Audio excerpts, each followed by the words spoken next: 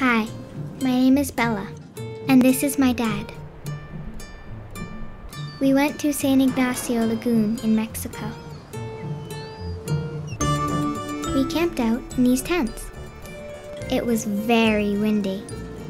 I almost lost my hat a few times.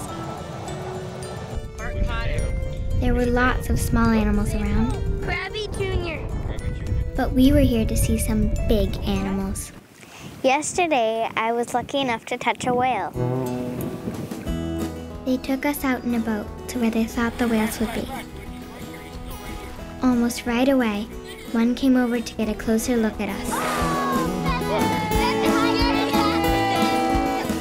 Then, the whale came right beside the boat.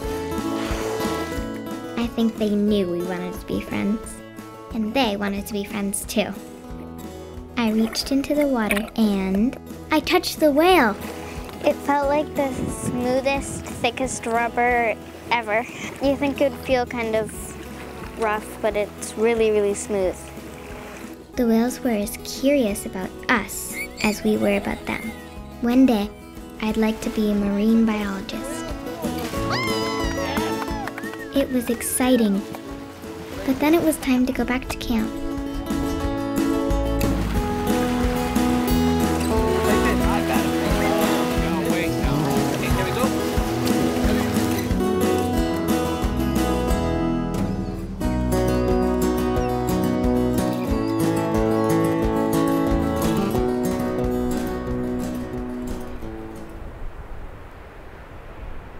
I lost my tooth last night.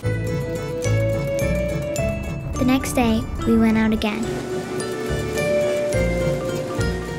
I brought my tooth. It came from right here. I think I'm gonna give it to the whales actually.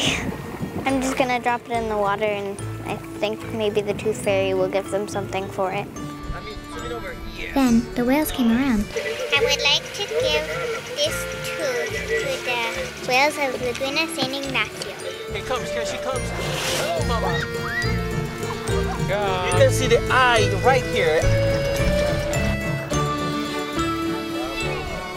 I hope the tooth fairy brings them some good luck. Good job. Because San Ignacio Lagoon is a very special place for the gray whales.